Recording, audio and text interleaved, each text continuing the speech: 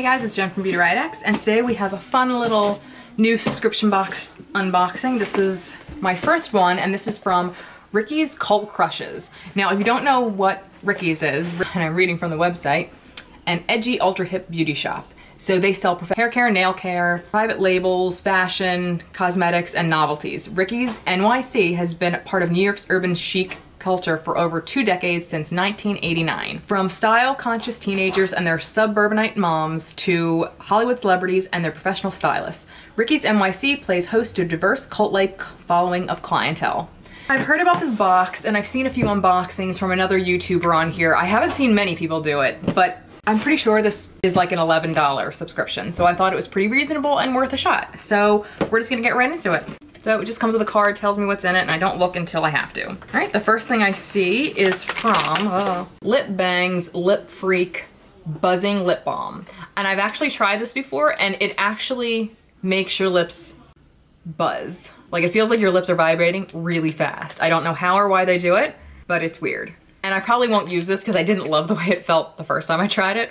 Oh, that sucks. Okay, it doesn't tell you the retail value, which is kind of a bummer. But that's all right, we're just gonna keep going. This is, but I, from what I remember, I wanna say this is around like four or five bucks. Ooh, the next thing I see is from House of Lashes, and that's a very popular lash brand. And these are the Bombshell Lashes. House of Lashes are hand cut to be perfectly long and luscious to enhance any of your looks. Hand woven with different levels of thickness, you'll be turning heads all Hallows Eve. I usually don't stray from my normal ones, but it's always nice to have extra lashes. Cool. Ooh, I've heard actually rave reviews about this particular product from Nikkie Tutorials. This is the Makeup Bullet, and it's the High Def Cosmetic Finger Sponge. And I'm pretty sure this itself retails for $15, if memory serves. I'm pretty sure Ulta has it. This is what it is, and it's basically a beauty blender for your finger. So place spun on, spun, place sponge on finger, ringer or, Ring or middle is best. Mist sponge with water or setting spray, but for best results, do not wet the entire sponge. Happily apply makeup flawlessly, then take a selfie. Okay. Um, so I will definitely try this. I'm very loyal to my Artis oval brush, but I'll give this a shot. Why the hell not?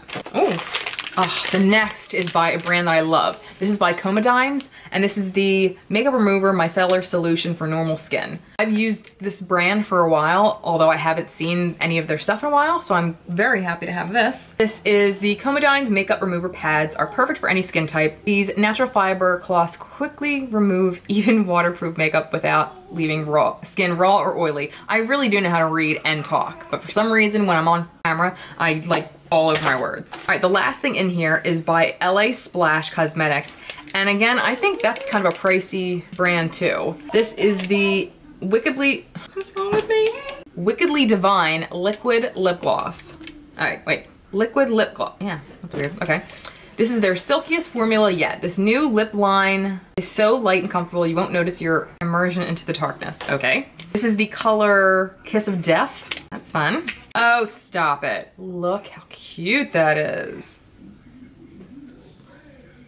You win for packaging alone. Kiss of Death. It's like a real deep reddish, brownish purple.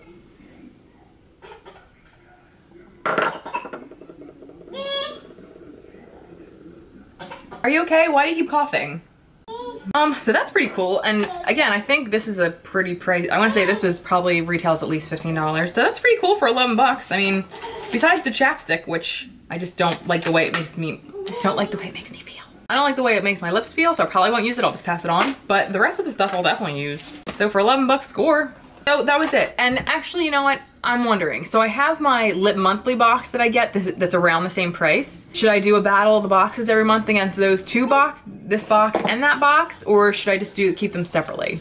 Let me know your thoughts in the comments. And also, please keep an eye out because the day after Halloween, I'll be announcing my end of the year what is wrong with me? I'll be announcing my end of the year giveaway that will be an annual thing now. At the end of every year, I will be doing a giveaway of, it's basically gonna be a bunch of my favorite things. One person will win, so make sure you're a subscriber, you hit the notification bell, and keep an eye out for it. So thank you guys for hanging out with me, and I'll see you next time. Bye guys.